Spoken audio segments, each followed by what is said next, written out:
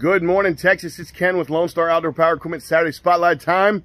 Uh, we had a very exciting 4th of July last week. It was great. And this week has been just pure chaos. A ton of business coming through the door. And we are trying to get everybody taken care of best we can. It's been fun. It's been awesome.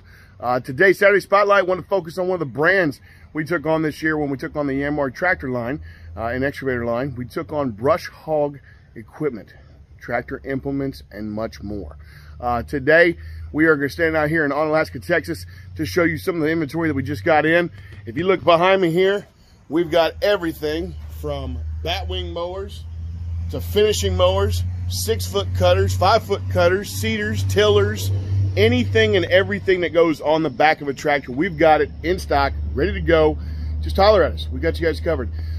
If you are looking for a new product to go on the back of your tractor, there is nothing better than a Bush Hog. If it doesn't say Bush Hog, it just doesn't cut. And that's what we do here. We sell quality products.